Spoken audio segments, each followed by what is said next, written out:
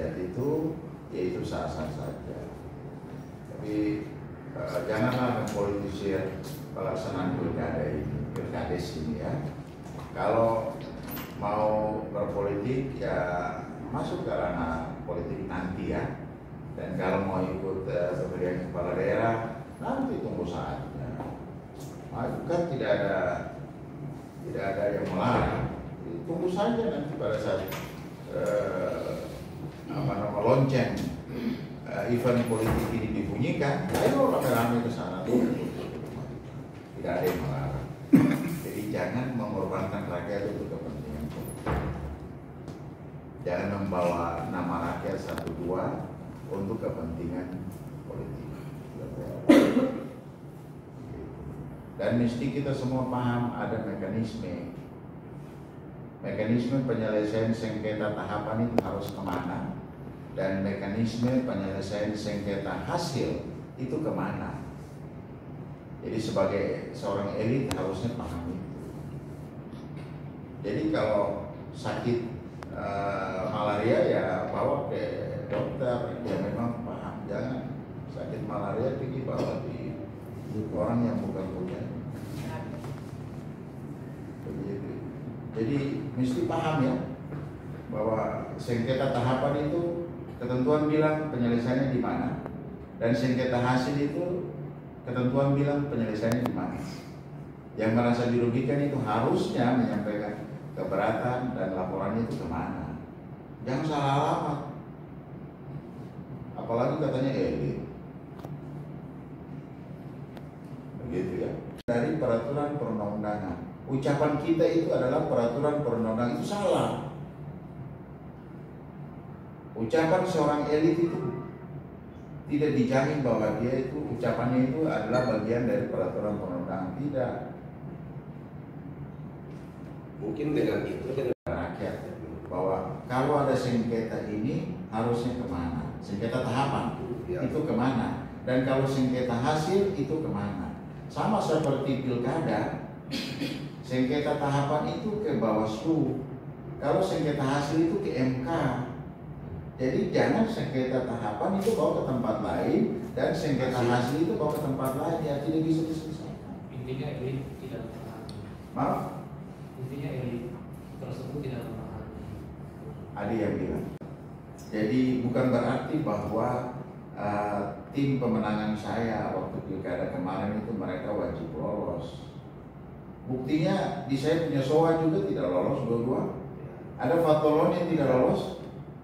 Dan Fatolon itu dengan saya punya TTTT adik kakak kami punya soa di Myanmar itu dua-dua tidak lolos. Jadi kalau ada tim yang dia belum memenuhi syarat, ya harus menerima.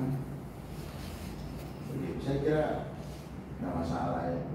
Eh, paling pokok adalah bahwa kita semua mesti memahami eh, Tuhan menganugerahkan kita dengan talenta yang berbeda-beda. Ada sebagai tukang ojek, ada sebagai pembantu rumah tangga, ada sebagai sopir, eh, ada sebagai jabatannya wartawan yang mulia, ya. ada juga sebagai eh, kepala desa, ada sebagai camat, sebagai eh, kepala dinas, sampai ke bupati, gubernur dan presiden. Ini semua jabatan pelayanan, jabatan pelayanan. Saya juga kan kemarin ingin juga kalau Pak Jokowi waktu memaju periode kedua itu ajak saya untuk mendampingi beliau sebagai wapres. Saya berharap, tapi ternyata kan Pak Jokowi tidak ajak saya. Pak Jokowi ajak Kiai Haji Maruf Amin. Kan saya tidak kecewa ya, kita dukung. Tapi saya kira semua orang Indonesia berharap menjadi wapres kan. Diajak Pak Jokowi kemarin, ada yang mau tidak kalau diajak kemarin? Mau kan? Mau. Tapi ketika dia tidak diajak kecewa tidak? Dia tidak kecewa karena kan cukup satu orang saja yang Pak Jokowi aja. Kecuali kalau Pak Jokowi eh, mengajak para bupati seluruh Indonesia Nah, dan sudah menjanjikan kepada saya itu saya patut kecewa. Tapi ternyata kan beliau tidak janji apa-apa ke saya. Ya, tapi harapan saya menjadi wapres kan boleh dong. Boleh dong jadi jadi wapres boleh saya jadi wapres.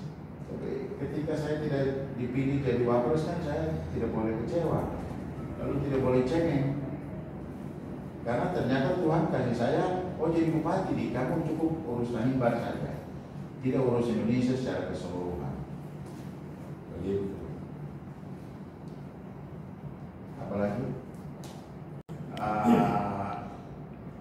Elit ya, masyarakat Tanimbar di mana pun berada untuk mari berikan masukan saran kritik termasuk kritik disertai dengan solusi kepada pemerintah daerah ya.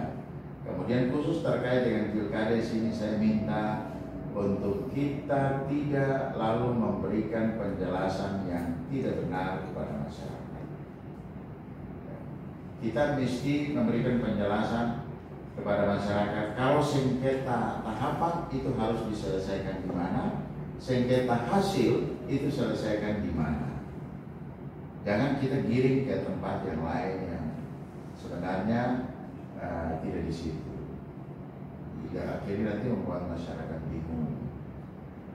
Begitu. tapi kita siap ya pemerintah daerah dan pansel siap kapan saja dari mana saja dari pemerintah pusat, dari provinsi mau datang untuk menanyakan hak, bagaimana harapannya kita siap.